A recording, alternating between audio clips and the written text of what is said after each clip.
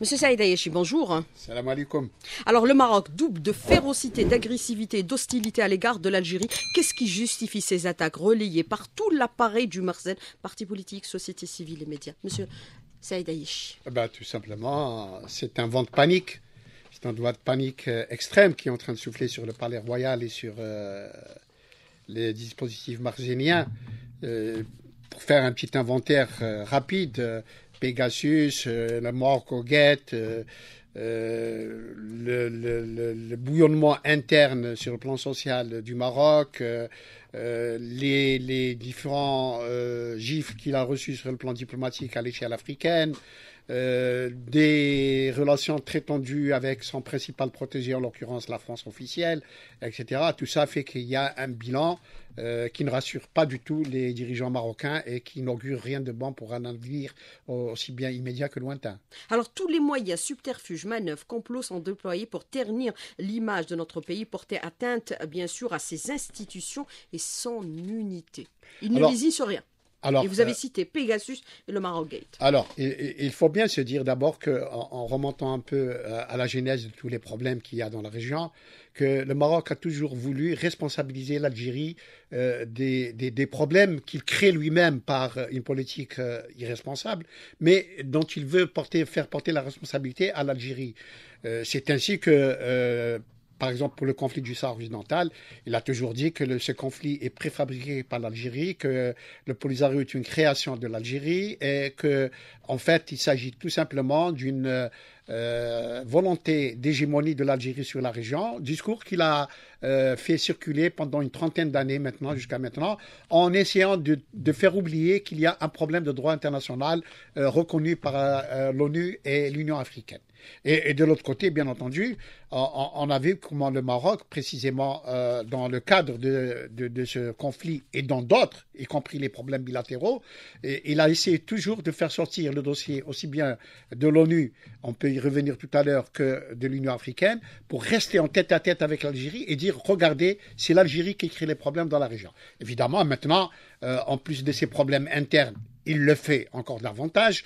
Euh, quand, il a, quand il a été démasqué euh, dans le Maroc au ou bien pour Pegasus, d'une certaine façon, il a, il a, il a bénéficié euh, du silence de l'omerta de certains dirigeants européens et donc euh, de ce côté-là, il a beaucoup plus braqué, disons, les, les, les sunlight sur la scène algérienne, etc. Donc pour lui, l'Algérie, c'est le souffle-douleur, c'est l'exutoire de tous les problèmes qu'il connaît en interne et sur le plan international, en ce qui concerne principalement le problème du Sahara occidental. Et n'empêche que de ce côté-là, la vérité toujours finit par rattraper la réalité et euh, le Maroc a essuyé divers camouflés diplomatiques retentissants, aussi bien euh, sur le plan africain que sur le plan latino-américain que sur le plan même euh, européen puisque la Cour de justice de l'Union européenne a désavoué les accords entre l'Union européenne et le Maroc. Et aujourd'hui, maintenant, euh, bien sûr, le Maroc se trouve euh, dans une situation intenable lorsqu'on sait le bouillonnement euh, du front social marocain face à la cherté de la vie et à la déroute de l'économie marocaine. Mais avec, euh, bien sûr, Pegasus et Gate, ont-ils permis de dévoiler aux yeux du monde la véritable image du Mersenne qui ne recule devant rien pour salir l'image de l'Algérie? Alors, euh, je crois, je crois à, cette antenne même, mais, même en diverses occasions, nous avons toujours euh, dénoncé les pratiques du Mersenne en ce qui concerne l'achat des consciences, comme on dit, grâce à la corruption, grâce à... Le Maroc est, est organisé, pour dire le Maroc, le Marzen, les services marocains sont organisés de telle façon à faire un listing de toutes les personnes qui ont une voix qui porte, qui ont une influence sur telle ou telle décision, pour qu'elles puissent, euh, n'est-ce pas, les recruter euh, contre espèces sonnantes et trébuchantes euh, pour être au service des thèses marocaines. Et c'est ainsi qu'on on, savait depuis longtemps que le, Maroc utilise cela. En plus, en plus bien entendu, des trois piliers qu'on connaît très bien, la, menace avec euh, l'immigration clandestine, euh, l'inondation de l'Europe par la drogue et même, à un moment donné, la gestion des réseaux terroristes en Europe. 65% des terroristes marocains, des terroristes qui sont qui ont commis des attentats en Europe sont d'origine marocaine. Et donc le Maroc, d'une certaine façon, est en train de euh, gérer, était en train de gérer les réseaux terroristes avec lesquels il faisait tout simplement chanter le gouvernement européen.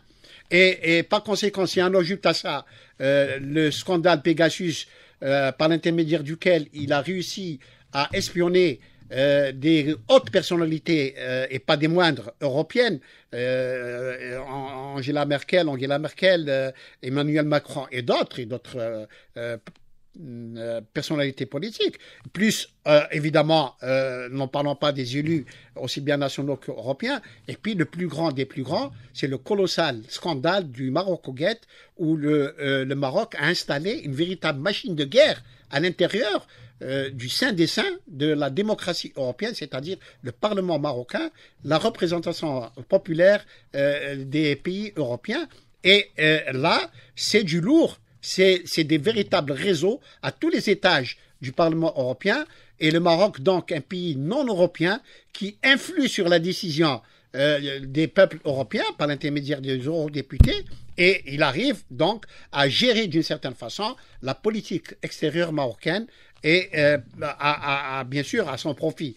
Et évidemment, euh, là, on est un peu éberlué, on est estomaqué devant tant d'audace et tant de facilité avec lesquelles il a trouvé euh, le chemin de cette installation, de cette ingénierie de la corruption à l'intérieur du Parlement marocain.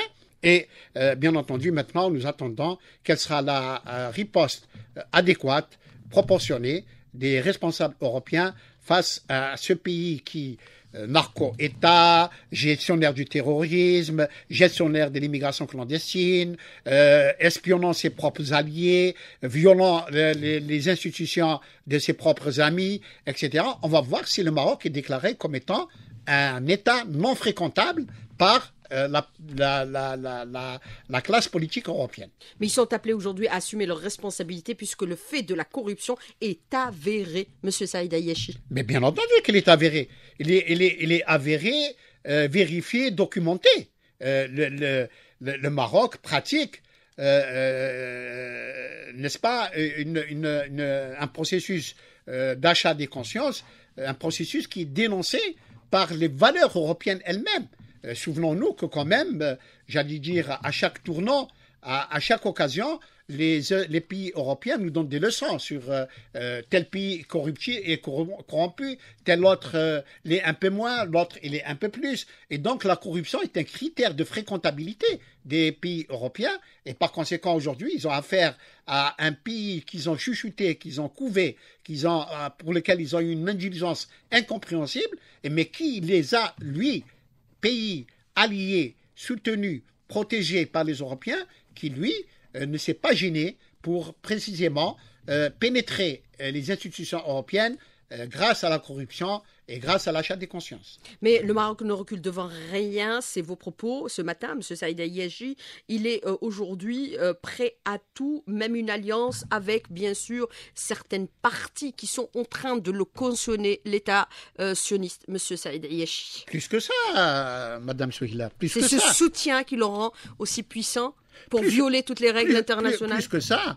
des choses, parce que c'est la communauté du renseignement, ne se dit pas j'allais dire très publiquement, mais on sait maintenant que après la normalisation entre euh, euh, la monarchie marocaine et l'État sioniste, euh, le Marzen qui, grâce à, sa forte immigration en Europe, dans certains pays où elle est bien ancrée, et nous savons que les services marocains ne reculent devant aucun état d'âme pour le recrutement et font du chantage aux ressortissants marocains, le passeport, euh, la famille qui reste euh, au pays, etc., pour qu'ils rentrent comme informateurs ou comme agents des services marocains. ces réseaux marocains qui existent depuis belle lurette en Europe, le Marzen les a mis à la disposition des services israéliens en Europe Et cela a grandement dérangé les pays européens qui, bien entendu, se sont rendus compte de cette disponibilité et de cette compromission entre les services marocains et les services israéliens, chose que les pays européens n'acceptent pas pour des raisons de sécurité nationale. Et bien entendu, euh, cela euh, a fait grincer des dents et fait tendre certaines relations entre le Maroc et certains États européens. Alors, euh, la volonté expansionniste du Maroc, remise encore une fois au goût euh, du jour, un média marocain a publié la carte géographique du Maroc qui s'étend jusqu'à nos frontières. Tindouf, euh, Bachar et Adrar, c'est une provocation de plus, Monsieur Saïd Ayeshi, c'est volontaire. Bien entendu, c'est volontaire, on peut l'expliquer, mais laissez-moi dire d'abord que. C'est pas nouveau, mais c'est nouveau c'est pas nouveau, c'est du nouveau ancien. Oui, laissez-moi dire une chose d'abord, c'est des fous dangereux, c'est ce que j'appellerais de l'irresponsabilité. Euh, on sait déjà depuis longtemps que euh, le parti de l'Istiklal de Al Fassi a prôné cette euh, politique expansionniste et, qu'il y a la, carte du Grand Maroc. Euh, qui est dans les livrets euh, scolaires, qui dans les livres scolaires euh, de la monarchie marocaine, on apprend déjà aux jeunes Marocains, tout jeunes, que le Maroc, en fait, a été spolié de sa terre et qu'il lui appartient de recourir. Tiens, ça ne vous rappelle rien? Ça vous rappelle le grand Israël, tout simplement. Vous voyez comme l'analogie se complète tout à fait d'accord? Israël qui va du, Tigre, de, l'Euphrate jusqu'à la Méditerranée. Et, bien entendu, ce délire tout à fait dangereux euh, de Al-Fassi dans le temps déjà, qui avait mobilisé parce qu'il y avait un contexte international, parce qu'il y avait un nationalisme euh, euh, récurrent, et, bien entendu, cela est resté comme étant un registre de commerce pour le parti de l'Istiklal, et, et, il en use et en abuse. Mais ce qu'il faut retenir, c'est que si l'on suit ces pseudo-historiens marocains qui veulent absolument déplacer les frontières du monde, mais alors il faudra euh, se méfier des Italiens qui vont nous euh, réclamer, bien entendu, euh, tout ce que l'Empire romain avait conquis dans le temps. Il faudra probablement nous aussi peut-être regarder à vouloir récupérer l'Andalousie. en Espagne, il faudra peut-être voir où sont arrivés les Vikings et les Mongols et ceci et cela. Mais, mais c'est du délire, du grand délire. Sauf que, sauf que cela n'est pas sorti aujourd'hui euh, de façon impromptue, cela est délibéré, calculé, parce que tout simplement le Marzen connaît une très euh, difficile situation sur le plan interne. Le bouillonnement euh, du Front social dure depuis une année. Le, le, Marzen a beau essayer, il ne s'éteint pas, et donc il faut créer aux frontières du Maroc un problème qui puisse servir de dérivatif à, au Marzen et attirer l'attention du peuple marocain sur un problème considéré comme étant plus important que le front euh, euh, social en ébullition, qui est la souveraineté euh, du territoire marocain qu'on imagine pouvoir aller jusqu'à Adrar et descendre jusqu'à la Mauritanie. Alors, mais pourquoi ces attaques et ces, agressivités, cette hostilité visent essentiellement le, président de la République, c'est-à-dire ah, M. Abdelmajid euh, Tebboune, et l'institution militaire? Parce qu'ils ont dévoilé au grand jour tout ce complot contre l'Algérie. M. Saïd Yeshi. C'est exact. C'est exact. Il y a. On en parle aujourd'hui, ouvertement. il y a aujourd'hui, il y a aujourd'hui euh, en Algérie depuis, euh, disons, 2020 après l'élection de Majid Tebboune à la présidence de la République, il y a aujourd'hui un discours officiel qui est très net, qui est très net. Euh, non, pas, non pas que la position n'était pas celle-ci avant, sauf qu'avant, on disait un peu à la Jésus-Christ, si on vous donne une tape sur une joue, tendez l'autre joue. Aujourd'hui, on dit, si on vous donne un coup, rendez des deux. messages à peine voilés. Rendez deux coups. Si on vous donne un coup, Majid Tebboune est en train de dire, si on vous donne un coup, rendez deux coups. Le chef d'état-major a dit notre armée est prête. Il le répète à chaque occasion. Ça veut dire tout simplement arrêtez de vous montrer agressif et hostile à l'Algérie, qui n'a rien à voir avec vos problèmes, aussi bien internes qu'externes. Et si vous bougez le petit doigt, nous sommes prêts à toute éventualité. Voilà le discours officiel aujourd'hui, qui est un discours très net, très clair et très serein. Et par conséquent, cela ne plaît pas au Marzen de trouver en face de lui une direction politique aussi ferme, aussi euh, déterminée et aussi euh, résolue pour éventuellement euh, riposter à toute attaque ou à toute agressivité, d'où qu'elle vienne. Alors. Euh, Monsieur Saïd Ayeshi, moi je voudrais revenir sur ces aspects-là, cette hostilité à l'égard de l'Algérie, exprimée ouvertement aujourd'hui par le euh, Marzen, reliée par tous, tout son appareil, y compris les partis politiques, puisqu'un des partis politiques, il a appelé même à déclencher la guerre contre euh, l'Algérie, les médias également, et bien sûr la société civile. Alors aujourd'hui, plus que jamais, la communauté internationale est tenue d'agir et de réagir face, bien sûr, à ces, à ces scandales qui dévoilent aujourd'hui le véritable visage du Marzen. Euh, il me semble qu'il y a deux volets dans la réaction euh, de la communauté internationale. Un, d'abord, sur le caractère euh, infréquentable du Maroc en tant qu'État responsable, puisque on a vu toutes les pratiques qu'il utilise et qui sont tout à fait inadmissibles. On a parlé du terrorisme, de la drogue, euh, on a parlé du terrorisme, de la drogue, euh, de l'immigration clandestine, Pegasus, euh, le Maroc-Guette, et, j'en passe et des meilleurs. ça, c'est d'un côté, mais de l'autre côté aussi, il y a cette, cette irresponsabilité du Marzen qui risque de mettre le feu à la région, parce que tout simplement, il est en train de chauffer à blanc d'abord son propre peuple qui ne chauffera pas, bien entendu. C'est un peuple de frères responsables, mais à Dieu ne plaise, il peut y avoir encore, euh, n'est-ce pas, des manœuvres diaboliques du Marzen pour euh, essayer, encore une fois, de créer un dérivatif au bouillonnement social interne au Maroc et, déclencher, euh, j'allais dire, une guerre avec son voisin algérien.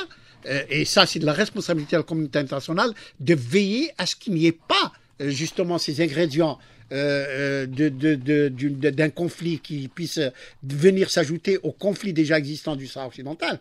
Et, par conséquent, euh, il faudra absolument que la communauté internationale mette un frein à, cette conduite irresponsable du Maroc, qui maintenant, nous l'avons dit et nous continuons à le dire, se plaît à organiser un climat d'hostilité, d'agressivité envers son voisin algérien, parce que tout simplement, le Maroc ne veut pas que le conflit du Sahara occidental reste dans un cadre juridique, c'est-à-dire l'ONU ou l'Union africaine. Il veut absolument bilatéraliser le conflit entre lui et l'Algérie et traiter l'Algérie comme étant euh, le pays qui a inventé ce conflit. Et par conséquent, il faudra le déstabiliser de toutes les façons. D'ailleurs, ça intéresse le Maroc, mais ça intéresse d'autres parties, en l'occurrence euh, l'entité sioniste, bien entendu, parce que l'Algérie reste euh, le seul pays arabe qui ne plie pas le genou devant l'entité sioniste et que ne reconnaît pas, euh, n'est-ce pas, euh, la, la, la, les, accords d'Abraham, encore moins bien sûr,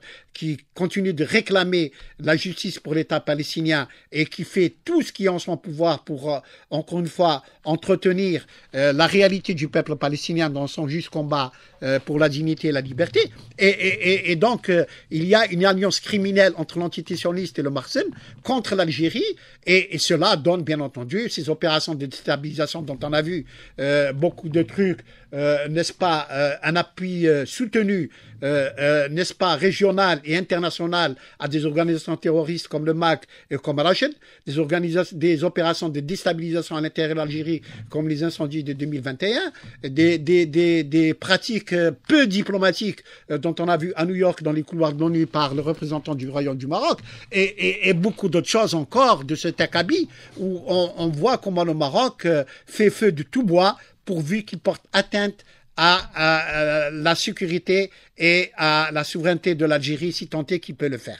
Sans parler bien sûr euh, des assassinats de commerçants algériens par des drones marocains qui bien sûr transitaient la région pour aller en Mauritanie. Ça, ce sont des provocations. Alors, euh, autre question que je voudrais aborder avec vous par rapport à la question du Sahara occidental, l'inertie aujourd'hui et la lenteur de l'ONU et euh, le Conseil de sécurité, est-ce qu'on peut le qualifier comme une sorte de complaisance pour le règlement définitif de cette question, bien sûr, de décolonisation du dernier pays africain? Monsieur Saïd Ieshi, on est, euh, je parle d'inertie, pour euh, l'Ukraine, on réagit, on mobilise toute la communauté internationale, et pour le Sahara occidental, on laisse faire. Alors, je, rappelle très très brièvement que les Sahraouis ont signé le cessez-le-feu à la seule condition qu'on organise un référendum d'autodétermination qui puisse permettre aux Sahraouis de choisir librement le destin. Cela n'est pas un cadeau, c'est le droit international qui le dit, résolution 15-14. Mais rien n'est fait pour que ce soit le cas.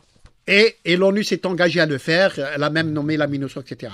Maintenant, les manœuvres dilatoires du Maroc qui gênent qui d'abord refuse des négociations. Et là aussi, on, a vu comment euh, cette mascarade du Maroc qui réclame que l'Algérie soit partie prenante dans les négociations, etc. Mais cela, c'est uniquement pour dire que euh, l'ONU, maintenant, euh, comme disent les Sahraouis à juste titre, commence à gérer le conflit occidental, il ne cherche pas à le résoudre. Et, par conséquent, l'ONU devient, son Conseil de sécurité devient un problème. Et ce pourquoi? Parce qu'il y a un membre permanent du Conseil de sécurité, en l'occurrence la France, qui protège le Maroc. On a vu les deux dernières résolutions de 2021 et 2022 comme elles étaient déséquilibrées, tendancieuses et comme elles s'éloignaient du droit international. Or, le droit international, nous l'avons dit, il est très clair application de la résolution 1514, il n'y a rien de plus simple, de plus limpide, de plus clair que le conflit du Sahara occidental. Sauf que quand il n'y a pas une volonté politique pour faire appliquer les résolutions du Conseil de sécurité, on, s'éloigne, on ne fait que s'éloigner de la véritable résolution du conflit, qu'on considère comme étant un conflit de basse intensité, et par conséquent, on doit s'occuper euh, de l'Ukraine. Or, en Ukraine, et M. Macron l'a appris à ses dépens euh, lors de sa visite en Afrique, lorsqu'on lui a fait remarquer qu'il euh, s'occupe de 10 000, de, de, victimes du conflit africain et d'oublier un million de victimes africaines. ici aussi, nous sommes en droit de dire qu'il y a un double standard dans les relations internationales. Quand il y a eu le conflit euh, en Ukraine, on a tout de suite sorti l'arsenal du droit, du droit international. Le droit, le, droit à la démocratie, le droit à la liberté, le refus de l'agression, comme euh, en tout cas ce que soutient l'Occident, etc.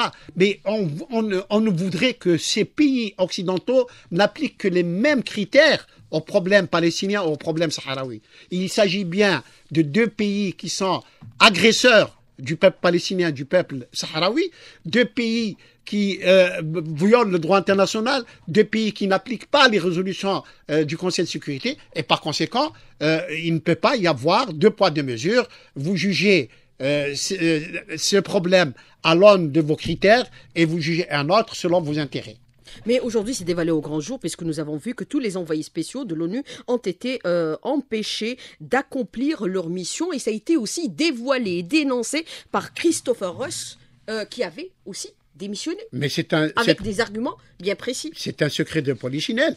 Euh, c'est un secret de polichinelle. Tous les envoyés personnels euh, du secrétaire général de l'ONU, dont je rappelle la principale mission est de dynamiser, de rapprocher les belligérants pour pouvoir discuter, comme on le sait et comme tout le monde, c'est un classique, tout doit se terminer autour d'une table et qu'il fallait engager des négociations, en tout cas euh, par étapes, facilitées pour rapprocher les points de vue et trouver une solution. Entre les deux. Entre Maroc, deux. Bien entendu. Ce sont ceux-là qui ont signé le cessez-le-feu. Ce sont ceux-là qui ont déjà négocié depuis 2002. Depuis 2002. avec, euh, euh, avec euh, James Baker. Et, donc, aujourd'hui, si, si on veut absolument revenir à une situation d'équité et, et, de volonté de vouloir résoudre le problème, il faudrait absolument que l'ONU trace une feuille de route claire à l'envoyé personnel, ce qui n'est pas le cas avec de M. De, de Mistura. Vous vous rappelez que à cette antenne même, j'ai dit que j'étais quelque peu perplexe parce que M. de malgré toute sa bonne volonté, et malheureusement aussi malgré euh, ses références antérieures, euh, un échec en Syrie, euh, un échec en Libye, etc., on ne peut pas dire qu'il a des choses à faire valoir, mais à, à lui le bénéfice du doute. Mais malgré cela, euh, euh, M. de Mistura n'a aucune feuille de route. Voici une année et demie qu'il a été nommé et il n'a fait que deux petits tours et puis s'en va. Et, par conséquent, le dossier reste en l'état et le Maroc continue sa politique de fait accompli, sa politique de fuite en avant. Il s'incruste au, Sahara occidental, il convoque des forums, des colloques, euh, des touristes, des violations de droits de l'homme, spoliation des ressources naturelles et tout y continue. Ça continue, ça continue de plus belle, sans que l'ONU puisse lever le petit doigt. Mais par contre, en Ukraine, ah, il faudra courir il faudra courir en Ukraine. Attention, il y a péril en la demeure. Et à ce moment-là, il faudra que euh, les gens se bougent, que la communauté internationale se bouge et, j'allais dire, euh, euh, condamne celui qui désigne comme étant le principal fauteur de troubles. Mais il avait déjà annoncé, Christopher Ross, en démissionnant, en dénonçant bien sûr le comportement et l'attitude de Marzen à vouloir bloquer sa mission. il a appelé aussi la communauté internationale, notamment le Conseil de sécurité de l'ONU, à prendre des des mesures correctives pour débloquer le processus de paix. L'ONU est plus que jamais interpellée pour assumer ses responsabilités. Monsieur Saïd Ayashi, y compris l'UA, qui doit aussi s'impliquer directement. Alors, parlons, parlons de l'ONU. Vous savez que dans l'ONU, le mécanisme de l'ONU, euh, euh, mécanismes qui ont été en place euh, par les vainqueurs de la Deuxième Guerre mondiale et sans la présence des pays du tiers-monde. Quand, sur leur propre organigramme qu'ils ont mis au niveau de l'ONU, leur propre mécanisme de gestion des crises, et par conséquent. C'est la raison pour laquelle on appelle aujourd'hui à l'élargissement. Et, ils ont bien prévu, ils avaient bien prévu d'émettre des résolutions contraignantes. Il suffit juste de passer du chapitre 6 des résolutions au chapitre 7 des résolutions qui deviendront contraignantes. Il y a deux pays qui ont toujours échappé au chapitre 7, c'est Israël et le Maroc. Tout ça parce que les États-Unis protègent Israël et la France protège le Maroc. Et donc, le, Conseil de sécurité émet des euh, résolutions euh, euh, sur les problèmes qu'elle a étudiés, en l'occurrence le problème palestinien et la question sahraoui, mais ni Israël ni le Maroc ne sont contraints de respecter les résolutions des Nations Unies. Quant à l'Union africaine, bien entendu, l'Union africaine est le cadre idéal le cadre idéal de résolution de ce conflit du Sahara occidental, puisque je rappelle que l'Organisation de l'Unité africaine, en 1963, lorsqu'elle a été créée, le premier objectif des pères fondateurs a été la décolonisation de l'Afrique. Et euh, aujourd'hui, il reste un dernier pays qui n'est pas euh, décolonisé, c'est le Sahara occidental. Or, entre-temps, des pays africains, parce qu'ils ont ces antécédents d'avoir souffert du colonialisme, ont admis la race euh, comme membre de l'Union africaine, de l'Organisation de l'Union africaine, aujourd'hui membre fondateur, ont bien sûr et le Maroc, qui a, réintégré l'Union africaine en 2017, a signé l'acte constitutif de l'Union africaine. L'acte constitutif est très clair dans son article 20 et dans tous ses autres articles que tout membre euh, de l'Union africaine qui est agressé par un autre membre de l'Union africaine doit bénéficier du soutien et de l'aide de tous les autres membres qui sont obligés de venir à son secours. Or, cela n'est pas le cas, comme l'acte constitutif a euh, euh, reconfirmé euh, les frontières héritées aux indépendances comme le, même, le même acte constitutif a clamé la décolonisation du continent africain. Mais peut-on aujourd'hui parler d'un véritable sursaut au niveau, bien sûr, de l'Union africaine, puisque lors du dernier sommet, il y a eu l'expulsion des diplomates israéliens? Bien entendu, bien entendu. Cela, cela démontre toute la vitalité de l'Union africaine, euh, qui, grâce justement à cet ADN anticolonialiste et anti-impérialiste, ne se laisse pas pénétrer par des agents qui viennent pour l'imploser de l'intérieur. Le Maroc n'est jamais revenu, et il est revenu pour en expulser euh, la race parce que ça le gêne que dans un cadre multilatéral comme l'Union africaine, le problème est posé dans des termes aussi bien juridiques que politiques, que diplomatiques, qu'historiques, qui, bien entendu, sont totalement défavorables au Maroc. Et bien sûr, il voudrait qu'on ne parle pas de cela. D'où encore cette, folie de vouloir bilatéraliser le problème avec l'Algérie pour le sortir de tout cadre euh, juridique. Et bien sûr, au sein de l'Union africaine, euh, le Maroc euh, est revenu soit pour pouvoir, et on a vu avec euh, ce pseudo-appel de Tanger, des has diplomatiques africains qui euh, prônent l'expulsion de la race comme si cela était, euh, n'est-ce pas, un oignon à arracher. Mais, de l'autre côté, il y a bien entendu cette vigueur l'Algérie en tête avec l'Afrique du Sud, mais aussi d'autres pays africains qui ont souffert du colonialisme, qui ont encore cette dimension anticolonialistes euh, chevillés au corps et qui ont totalement, comme d'un seul franc, euh, barré la route à la réadmission de euh, comme membre observateur au sein de l'Union africaine, parce que de toute façon, c'est le Maroc voulait avoir un complice de poids à l'intérieur de l'Union africaine pour pouvoir justement pouvoir mener ses, euh, manœuvres euh, criminelles à l'intérieur de l'organisation panafricaine euh, afin de perturber le fonctionnement de l'Union africaine et de pouvoir ainsi parasiter le dossier Sahara.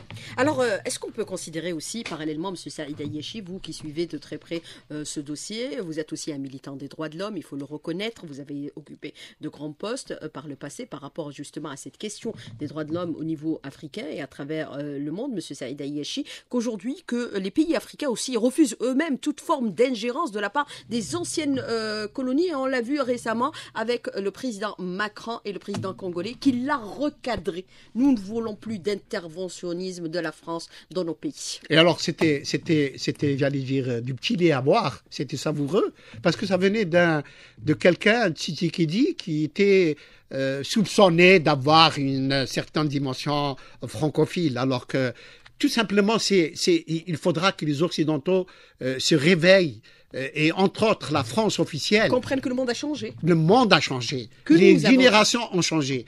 D'abord, M. Macron a eu la désagréable surprise, rappelez-vous, quand il a voulu remplacer le fameux sommet euh, qu'a institué Mitterrand avec les, les chefs d'État africains à la bolle et, et, et qui, que Macron, euh, il y a deux ans, a voulu remplacer en convoquant les jeunes africains. il en avait reçu pour son grade.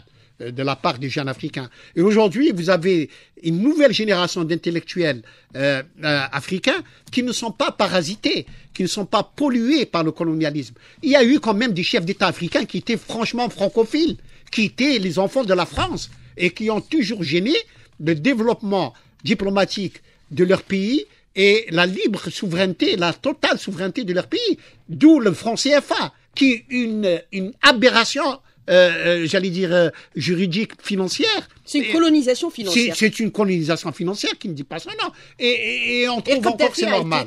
Mais les nouvelles générations africaines veulent absolument mettre un frein à tout ça, et j'allais dire, se réapproprier la souveraineté de leur pays, et leur indépendance, et surtout l'indépendance de leurs décisions et que les ordres ne viennent plus de Paris pour qu'on puisse dire faire ceci ou cela. Et donc, M. Macron, euh, j'allais dire euh, euh, bravo à M. Tchikidjidi, qui l'a évidemment bien remis à sa place, parce que, encore une fois, M. Macron, malgré toute la sympathie qu'il peut inspirer, est parti en donneur de leçons. faites ceci, faites cela, ne faites pas ceci, faites cela. Alors, euh, euh, vous avez aussi une génération d'élite qui est très consciente aujourd'hui des enjeux au niveau euh, africain. Alors, autre question que je voudrais aborder avec vous, Monsieur Saïd Iyeshi, par rapport à cette question qui est d'actualité. vous avez la question de l'auditeur qui vous dit la position espagnole par rapport au dossier sahraoui, c'est une fuite en avant? Non, c'est pas une fuite en avant. C'est encore, c'est encore le produit. Le chef du gouvernement. C'est encore un produit de la corruption. On sait maintenant avec exactitude que M. Euh, d'un côté, lui, en tant que personne, a été soumis à un chantage euh, vidéo à l'appui. Et de l'autre côté, sa femme a reçu 100 millions d'euros euh, pour euh, la fondation qu'elle dirige, une formation de formation des cadres. elle a bénéficié d'un contrat de formation des cadres marocains pendant 5 ans. Et en fait, c'était un cadeau fait par le Marzen. Mais pour, pourquoi? Parce que le Marzen a fait le calcul suivant. Après le décret scélérat de Trump euh, euh, qui reconnaît la souveraineté euh, du bout des lèvres du Maroc sur le Sahara occidental, ils ont dit hop, ils ont, ils ont inspiré un phénomène d'entraînement que d'autres États allaient suivre les États-Unis, personne n'a suivi, et même pas l'administration Biden. Et, donc, ils ont dit, il nous faut un autre État. Ils ont vers la France de ne l'a pas avoir fait, mais ils ont trouvé en, Pedro Sanchez un, fusible très, très facile à manipuler, avec les vidéos de, chantage et avec euh, le cadeau qu'ils ont fait à sa femme. Et M. Sanchez a, donc euh, euh, fait volte-face sur la position officielle de l'Espagne dans le dossier occidental. Évidemment, non seulement il a eu tout le peuple espagnol à 90% contre sa décision, mais toute la classe politique espagnole, y compris dans son propre parti, et aujourd'hui il est tout à fait esselé dans sa position, et chacun réclame, chacun réclame le retour à la position de l'Espagne qui était une position de neutralité euh, positive, une position d'équilibre dans le dossier occidental, surtout si l'on considère les responsabilités historiques de l'Espagne dans le dossier du Sahara occidental. Et bien entendu, euh, euh, ce n'est pas rien de souligner que la position de Pedro Sanchez qui a mis en péril la stabilité, la sécurité de la région que dénonçait, qu'a dénoncé l'Algérie en, restreignant ses relations commerciales et diplomatiques avec l'Espagne et en euh, euh, suspendant le traité d'amitié, cela a causé une très forte, de très forts dommages à l'économie espagnole et a tendu des, euh, des, des, relations avec un partenaire qui était supposé être stratégique. Et par conséquent, la position de Sanchez n'a eu que des effets négatifs, grandement négatifs pour l'Espagne en ce qui concerne justement cette position dans, euh, aligné sur les thèses marocaines. Et aujourd'hui, tout le monde prévoit que l'Espagne, euh, après les élections de 2023, va revenir à une position euh, plus équilibrée dans le dossier, c'est-à-dire la position qui a toujours été la sienne. Alors, euh, autre question de l'auditeur, elles sont très nombreuses ce matin, M. Saïd Yachi. N'oublions pas aussi le trafic international de la drogue. Le Marseille est devenu carrément une menace pour ses pays voisins, l'Afrique du Nord, l'Europe et le monde entier. Pas nouveau. Pas nouveau, malheureusement, pas nouveau. Je dis malheureusement, pourquoi? Parce que c'est là ici. La, drogue rapporte 23 milliards de dollars chaque année au Maroc. 23 milliards de dollars. C'est-à-dire, euh, c'est un véritable narco-État. On parle euh, de la, de la Colombie, je crois la Colombie est déclassée, euh, si tant est qu'on peut s'exprimer ainsi, en faveur du Maroc, qui est devenu le principal narco-État du monde. Et, et, et, le monde le sait, puisque c'est un poison qui est distillé à travers euh, euh, Gibraltar pour ce qui est de l'Europe et, Dieu sait combien la jeunesse européenne est, maintenant euh, addictée à, la drogue marocaine, mais aussi bien sûr les routes vers le Moyen-Orient, etc. Et, donc la, drogue est un, est un principal sujet post de, de, de, de, devise pour le, le, royaume du Maroc. On dit même que le roi d'ailleurs a sa part sur euh, pour ne pas dire la grande part, sur euh, ses revenus euh, dus à, la drogue, et, cela le sait. Ce, qui, ce, qui, ce qui dérange beaucoup plus, c'est que cela ne se dit pas de façon... On sait que le Maroc est un narco-État, mais jusqu'à maintenant, on, ne, prévoit pas de, de sanctions contre le Maroc, par exemple au niveau euh, de l'agence de répression des drogues qui se trouve dans le, des Nations Unies, qui se trouve à Vienne.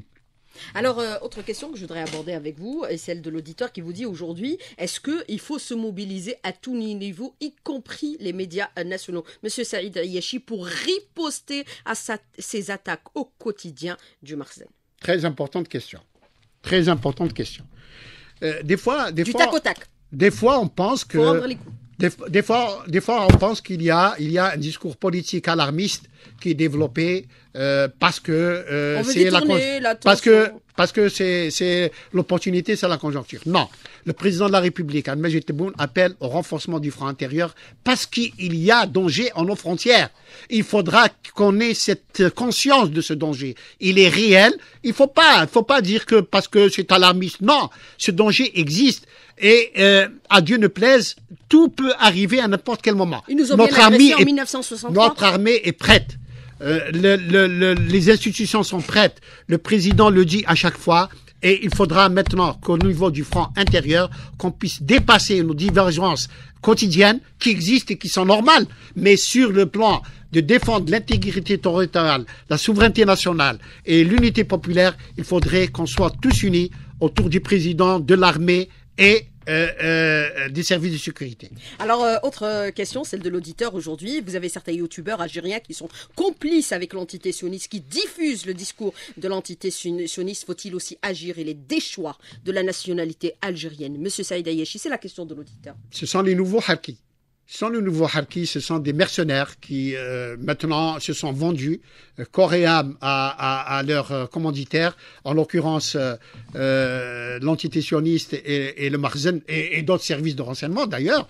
Bon, mais ils ne peuvent, ils ne peuvent de à mon point de vue, je peux me tromper, mais à mon de vue, ils ne peuvent mériter que du mépris et de, j'allais dire, de la déconsidération qu'ils ont déjà, parce qu'un Algérien fier de l'être ne vont jamais son pays. Alors, autre question, les Sahraouis ont repris bien sûr les armes, ils sont en train d'infliger des coups euh, terribles euh, à l'armée euh, du Marzen. Pourquoi on n'en parle jamais au niveau des médias étrangers, M. Saïd Yachi, alors que l'Ukraine, c'est H24 Parce que c'est l'embargo médiatique.